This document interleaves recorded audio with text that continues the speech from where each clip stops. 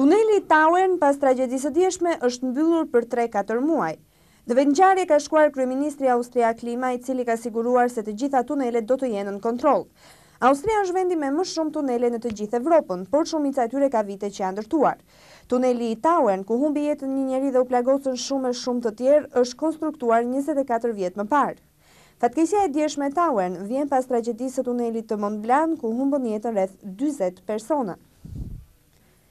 Ira tregon se ku janë nëntë kufomat e të zhdukurve që në shtatëdhjetë e tetën, dhe kjo në kuadër të bashkëpunimit dhe marrëveshjes për paqen. Të nëntë kufomat ishin varrosur në një parking diku pranë kufirit mes dy irlandëve.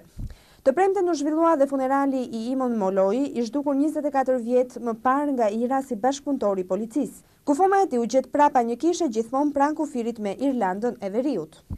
Rudolf Schuster fiton zyrtarisht zgjedhjet presidenciale në Sllovaki.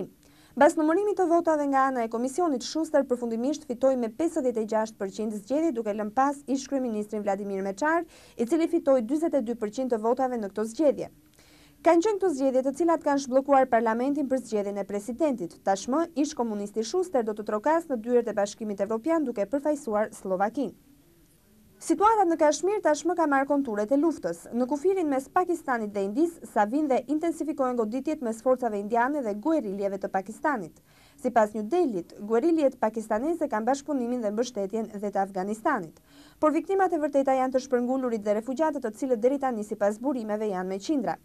Tre luftra janë zhvilluar mes dy vendeve historikisht konfliktuale. Me gjithë përpjekjet e diplomacisë, asnjëherë s'është gjetur gjuha e zgjidhjes mes dy vendeve, ku deri tani ka disa viktima nga të dyja palët. Stacioni i parë ndërkombëtar në hapësirë po merr formë. Dje dy astronautë amerikanë kanë vendosur dy modulet e para, një amerikan dhe një rus. Stacioni do të kompletohet krejtësisht në vitin dy mijë e pesë, tani për tani në bordin e Shuttle janë tetë astronautë ku dy amerikanët e parë kanë montuar dyqind kilogramë elemente të stacionit hapësinor ndërkombëtar.